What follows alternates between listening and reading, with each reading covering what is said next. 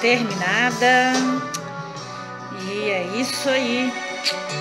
Estou aqui finalizando o meu.